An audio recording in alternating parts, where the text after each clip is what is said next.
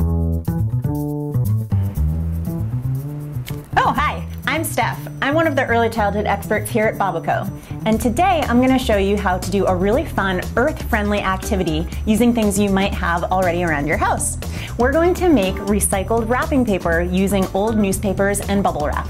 The materials you need are newspaper, bubble wrap, scissors, paper if you want to make templates to stamp over, paintbrushes of any sort, and then we're using tempera paint. So the first thing you want to do is prepare your work surface. So I put down a plastic sheet to protect the table from the paint because this can get kind of messy.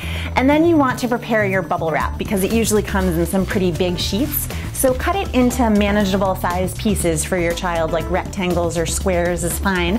Um, or if you want to get creative, you can make some shapes out of the bubble wrap for printing with that. Something a little different you could do is take paper and cut it into shapes. And that way, when you print with the bubble wrap, it's creating like a negative print on the paper. So the next thing you're going to do is just put out your newspaper that you want painted and then prepare your paint. We're using non-toxic tempera paint and I really like to designate an old muffin tin in the kitchen to be the art paint template and you can use that when you do art projects.